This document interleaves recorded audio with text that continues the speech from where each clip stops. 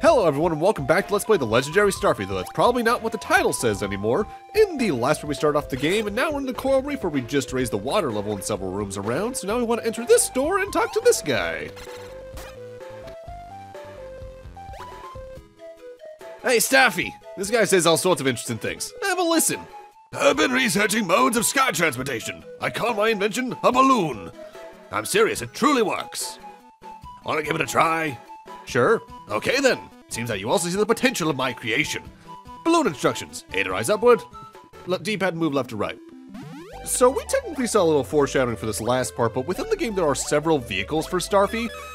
They're used at set rooms, so if you go to the rooms where they are without doing the first one, the tutorial version of them, you just cannot access them. Like last time we saw an outline of a balloon we could not yet access. In fact, after this, I don't do this, uh, this part at least, but if you go back to that room where the outline was earlier in the level, you can now do another balloon minigame for some extra star pearls. You can also get an enemy for your encyclopedia there as well if you wanted to.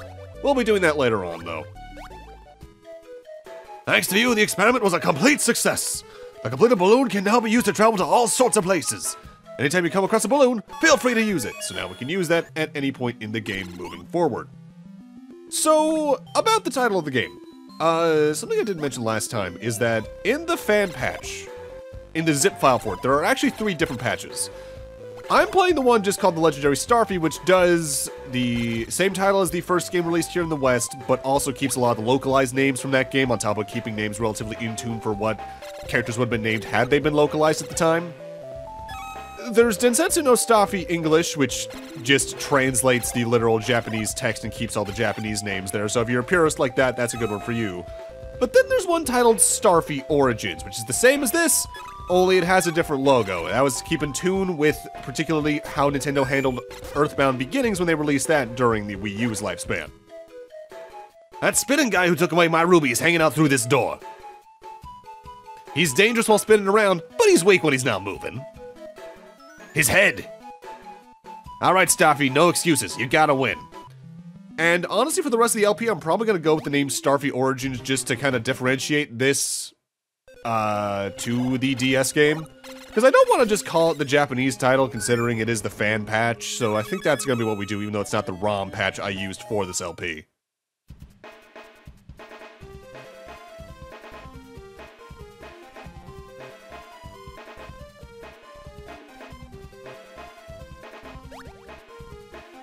Konk? Who the conk are you? I'll never conk let you have Ruby. So, with one exception, every boss in the game has 5 hit points, hit the weak point 5 times while dodging their attacks, and you're good as usual. Konk here is particularly weak on his noggin, so go in from above and stay off the ground. At the start, he only really tends to move left and right a little bit with the occasional jump, but as you get lower on health, he does add some new moves to his repertoire, like jumping high up in the air to try and just slam down on you. Though you can also kind of hit him off screen if you're good about things. It's not too hard. Stay low on the ground when he jumps to have as much time as you can to move, and you'll be fine. I'd say there's only like two bosses in this game that are outright troublesome, uh, even on a first playthrough.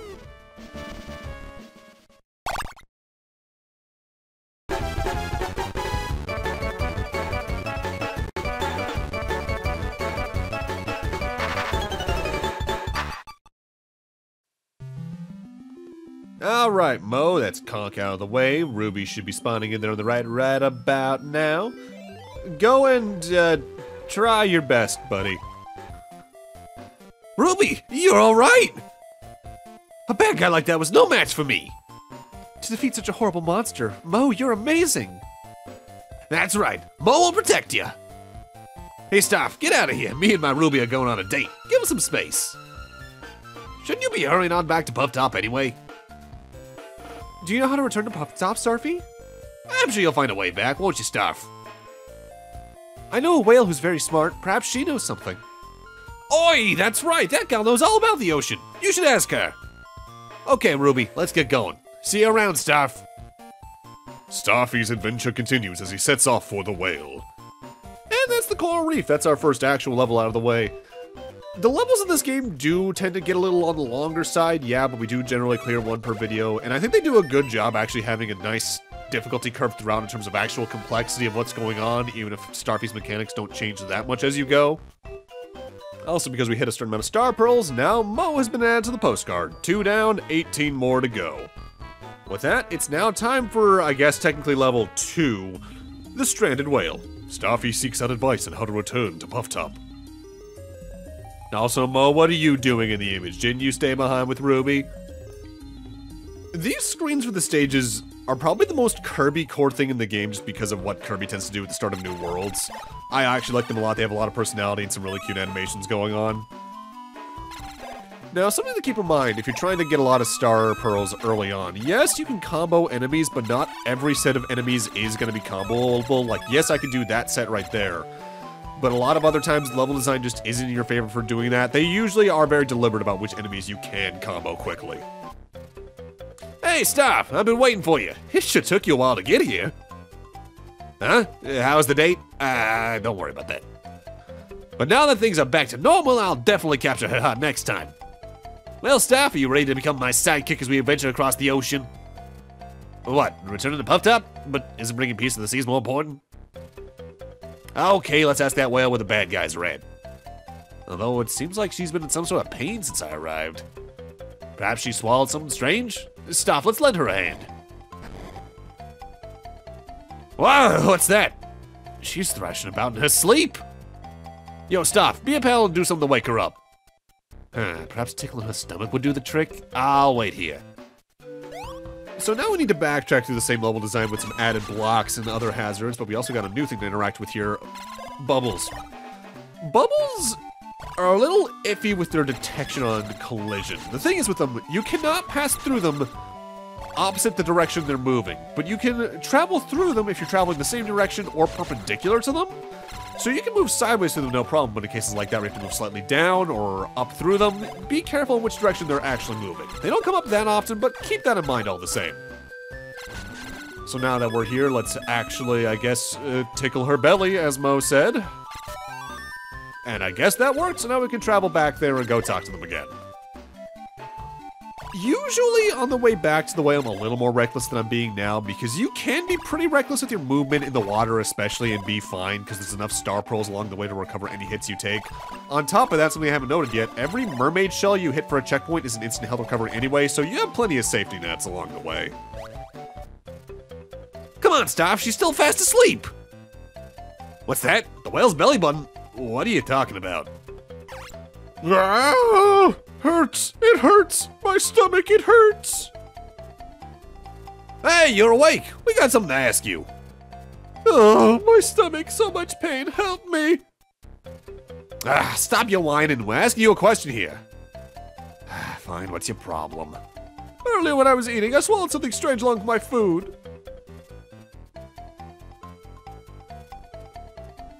Mmm, delicious. The fish around here sure are tasty. Oh, well, if it isn't a big dumb faced whale. Into your stomach and cause a world of pain. Ah, ouch! Ow, ow, ow, ow, that hurts. Uh...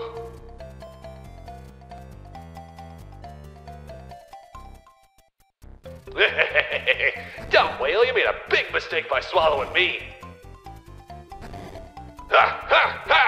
It's time to let loose.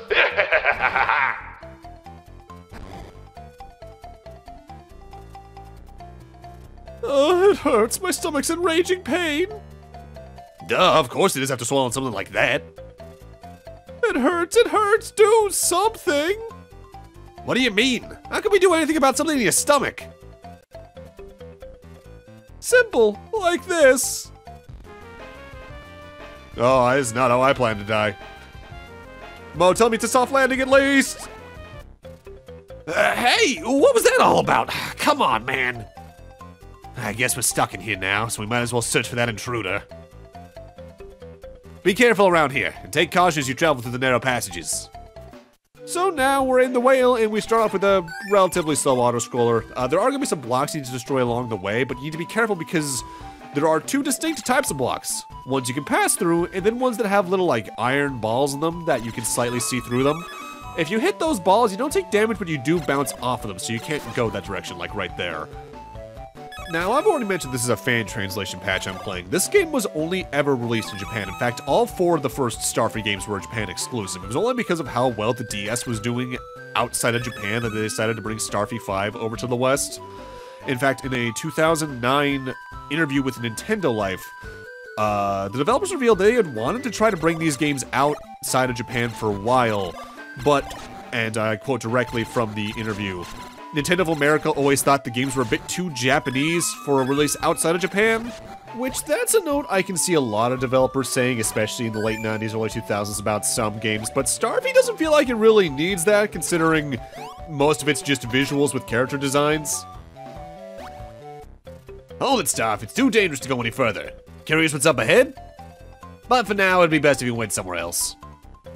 This is another vehicle section we actually don't have the vehicle for, and we won't for a while, so we're just gonna move on. For now, be careful in this section, because these little, like, blobs here actively push you in the direction they're facing, and you cannot fight the flow of them at the moment, so just avoid them as best you can. Now, something to keep in mind about some of the enemies in this stage is particularly the little flames. Uh, they, I guess they're sort of meant to be antibodies or inflammation, they actively do have a range of influence where once they start getting towards the end of that or they're on screen for a certain amount of time, they just start dissipating. So if you want, you can just completely ignore these enemies and only take out one to get them for your encyclopedia and you'll be good. For now, though, it's time for our next minigame. Shuffle Shades. my, don't you look like quite the weak one. In a jam? Then perhaps give my challenge a try. Play the minigame? Absolutely. Destroy the can containing sunglasses before time runs out. There's also a limit to how many times you can shoot, so aim carefully. A for shooting, B and the D-pad to move quickly, D-pad to move. So sunglasses get randomly placed in one of the cans, and they bounce around the field, uh, sort of like the DVD logo, as it did once upon a time. While you do have a time limit, your failure state here isn't missing the correct can, it's not breaking that can totally within the set amount of shots of five that are on the right side of the screen. Three shots on the right can, and you're good. I've never noticed that Starfy Sprite actually gets sunglasses there, huh? Eh, you're getting better. Take these pearls as a prize. The pearls you get from minigames right now isn't a lot to write home about, but that can actually help you get towards your end goal uh, for maxing out the postcard uh, later on. Although for right now, it's also not a bad way to get like an extra health point back in the case you're running low when you're near a minigame door anyway. We can't help that person there for now, so we'll have to come back here. See that stuff? That poor creature trapped by those spiky guys? That's Luby, a friend of the whale. Hey, I bet she knows something about why the whale's stomach is acting up. Alright, Staff, you better rescue her. But with those spiky guys surrounding her, getting close might be difficult. Huh, guess I'll have to go find someone who can get rid of them for us. Pretty coral! I had planned to give this to Ruby as a present. Ah. Okay, then get going. There's all sorts of creatures through this door. I don't know why the audio cut out in the middle of that cutscene, by the way. I think maybe my OBS just messed up there for some reason. Either that I clicked on a different window for a second. Through the door to the right, there's a tough-looking octopus inside a jar. Perhaps he can help you become stronger. It's settled then. Go and have a look for him. While you're doing that, I'll continue looking around here. Mo's advice there is solid. There are several doorways in this room, but many of them we can't access yet because they're behind blocks we cannot break. So we want to head here to the doorway on the right and go see that octopus in question. I do like that the game does this a lot. There's a lot of times we have somewhat open areas with a lot of pathways, but Mo's always somewhere nearby to point you in the general right direction. Sure. Hey, you. I've never seen you around here before. The wimpy spin you have. You'll never get anywhere with that. Might is the true essence of any star spin. Spin an impact with might. Might, might. Use it to return here. Chee. Mighty star spin instructions. While holding the D-pad, doing a star spin will send you flying in that direction with might. This is one of the few upgrades Starfy actually gets through the game. Now, if we do a star spin while holding a direction, you charge in that direction, which you can use to take out certain enemies you couldn't before, or at least knock them around, or you can most primarily use it to resist any kind of current in the water, like the ones in these blobs, or any actual currents in the water for now. There are some you can't resist, uh, but they are notably stronger looking in their animation to begin with. Phew, not too shabby. You can break blocks with it too. Make sure to practice lots. Now go get him. Cheat! Notably, now we can also break the blue blocks we saw in this room and the previous one, though they do take two spins. By and large, you can now break any block that looks like it's unbreakable. Mostly. Again, there's one exception type, but we'll talk more about that down the line. We can't break these metal blocks, though. Those are permanently impassable. So now that we have the upgraded Star Spin and we're back in this room, we want to check out the doors around the perimeter of the area that don't lead to the octopus in order to find out our next general direction. Uh, there is one direct order you need to go in order to get this done, but I think I show off a couple of them beforehand just to showcase the reason why we're doing the thing we are. We're, so hungry. We have been able to perform our duties as a result. Recently, something bad has affected the whale. We're worried. Please bring food.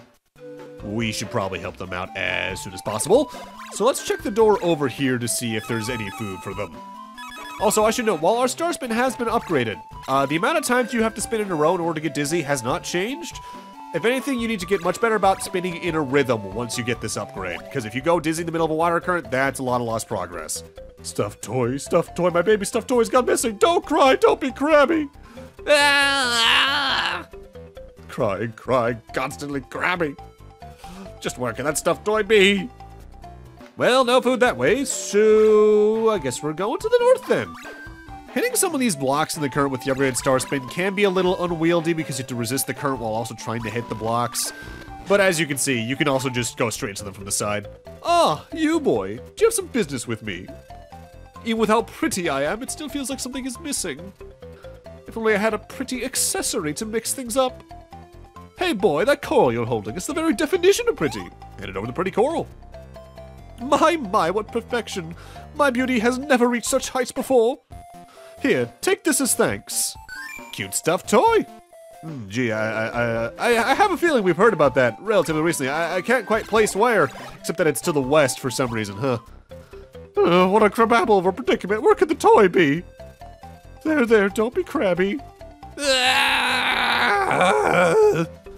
Ah, don't cry, you'll make Papa crabby too. Handed over the cute stuffed toy. That's it, that's it! Where did it scuttle off to? Yay, yay! You really lent a claw to this old crab. Take this. Tasty looking cake. And I think we know where this goes by now.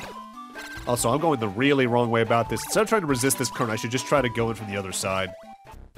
We're so hungry. We don't Ah, that cake looks delicious. Handed over the tasty looking cake. That's much better. Thank you very much, Stuffy. Now we can get back to work. Huh? Lou's in trouble. That's bad. All All right, everyone, let's go. Stuffy, come watch. All right, so now we're good to go help out that mirror we saw. With a shifting camera perspective that makes me think we're in an auto-scroller for a split second.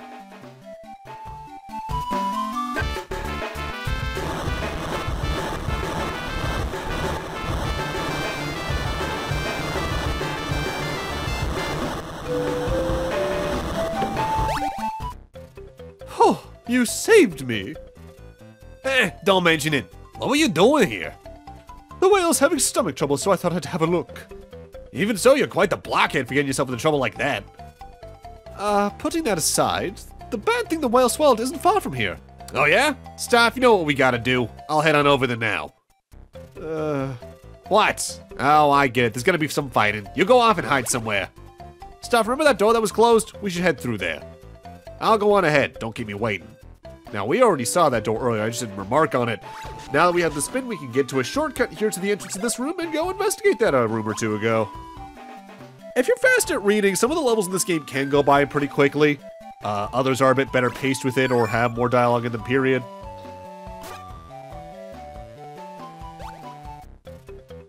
It seems the cause of the pain is some spiky guy. Your star spin might not work on him. Unless maybe those spikes were gone, your star spin might have an effect. And those walls look spiky too. Wait, I wonder what's stronger, him or the wall?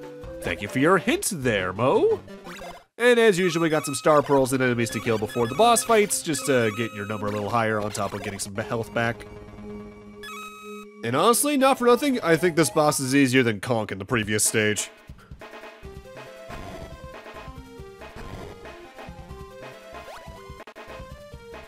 What's with you? You here to pick a fight? so, Bankaros here is spiky, and we can't outright damage him. The walls are also spiky, and those can damage you outright. With that said, let's fight fire with fire and have him do his only attack, really, which is a spiraling tackle into the spikes. And eventually, he'll hit them and just outright destroy his own spikes, leaving him open for damage. Do this five times, and he's down. I think he has more attacks, but he almost always opens with the tackle, so you can just sort of bait him into a nearby wall pretty quickly.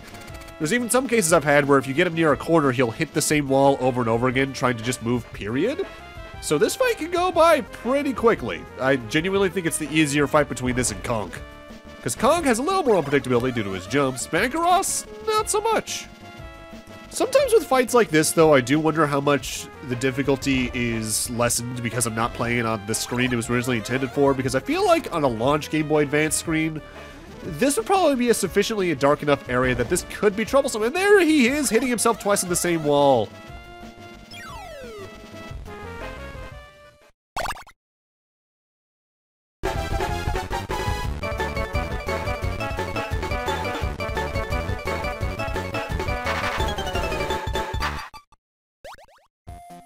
You did it! You defeated him! Of course, you should expect nothing less of the Great Mo. However, there's still a problem left unsolved. Eh, just leave it to the Great Mo. I'll sort it out for you. Well, that's reassuring. At the Sea of Ice, my friends, the Gelato sisters, they ran off to fight a bad guy over there, but... Hey, say no more. Mo's got you covered. I'll have the whale send you guys over to the Sea of Ice at once.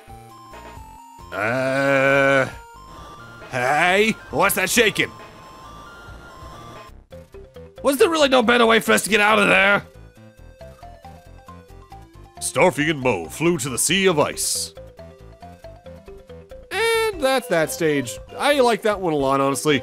I'd say my favorite stages of the game are probably stages, if we count this as stage two, stage two through five on the whole. I like that period of the game a lot. But with that, I'm gonna need to end this off here. Thank you guys for watching, and in part 3, we're gonna head into Stage 3 and see what's going on over at the Sea of Ice. See you guys then.